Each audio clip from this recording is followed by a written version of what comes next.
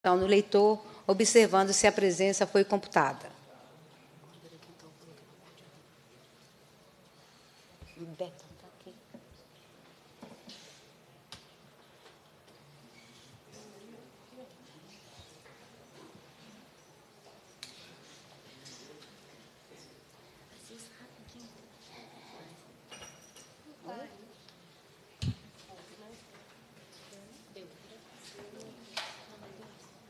A do Bruno. Registrada a presença da Andréia, do pessoal, o Betão, o Bruno e a Leninha. Então, quatro membros da comissão presentes agora nessa reunião ordinária. E nós vamos, então, suspender a reunião ordinária para reabrir uma ambulância de plantão por...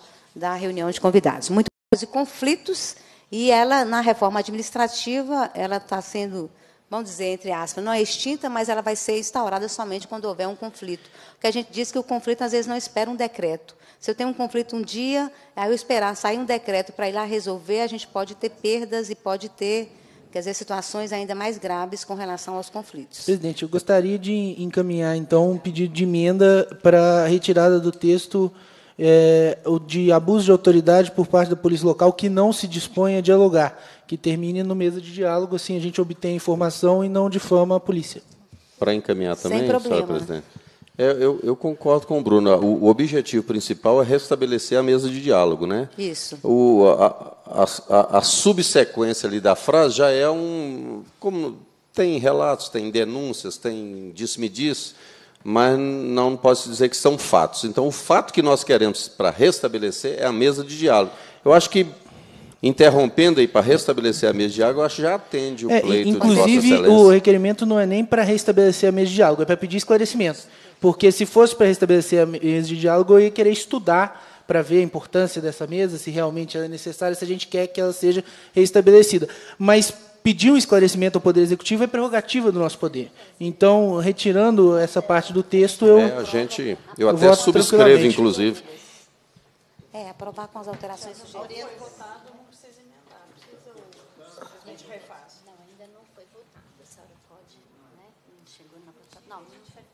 Não, nós estamos dizendo que a gente acata as sugestões de retirar esse pedaço do texto, que não altera o objetivo, e nós vamos pedir a reformulação tá certo? Do, do requerimento. a gente apresenta novamente. Hum? Então retira ele. Isso. Você faz e volta. É, só reformulação, é isso. Se ficar pronto, vota agora. Não, a gente pode votar a emenda, que é uma emenda supressiva, e depois vota o texto emendado. Só colocar a emenda em votação, caso seja aprovada, aprovar a emenda. Ela redige a emenda? É isso? Qual que é? Aprova com a observação de alterar a redação? Ah, tá. Em votação, o requerimento, salve emendas. É isso? Os deputados que aprovam permaneçam como se encontram. Em votação, a emenda do deputado. Os deputados que aprovam permaneçam como se encontram. Aprovado a emenda. Excelentíssima senhora presidente da Comissão de Direitos Humanos, a deputada que se subscreve, deputada Leninha, nos termos do artigo 103, inciso 3 a linha A do regimento interno, que seja encaminhada à Secretaria de Estado de Meio Ambiente. Dois requerimentos aqui ainda para ser aprovado nessa comissão. Excelentíssima senhora presidente da comissão, a deputada que subscreve, a deputada Beatriz Cerqueira, requer de vossa senhoria, nos termos do artigo 100 do regimento interno, que seja realizada audiência pública para debater os impactos ambientais, sociais e econômicos decorrentes das atividades minerárias no município de Barão de Cocais e região, bem como as reiteradas violações de direitos humanos dos atingidos pela mineração nesse município. Sala de comissões, 18 de março. Em votação, os deputados e deputadas que aprovam permaneçam como se encontram. Aprovado o requerimento.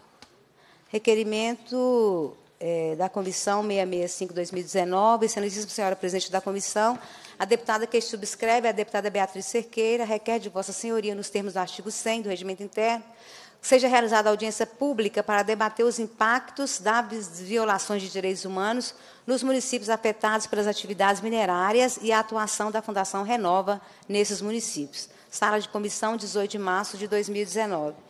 Os deputados e deputadas que aprovam permaneçam como se encontram.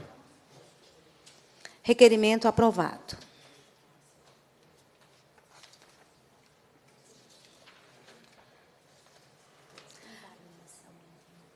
Isso. É, eu indago ainda os demais deputados se tem algum outro requerimento, alguma questão de ordem para essa reunião ordinária. Cumprida, então, a finalidade da reunião, a presidência agradece a presença dos parlamentares, dos convidados e público, convoca os membros para a nossa próxima reunião ordinária, determina a lavatura da ata e encerra os trabalhos. Obrigada a todos. Obrigado. Eu gostei desse horário novo que não briga com a opção de educação.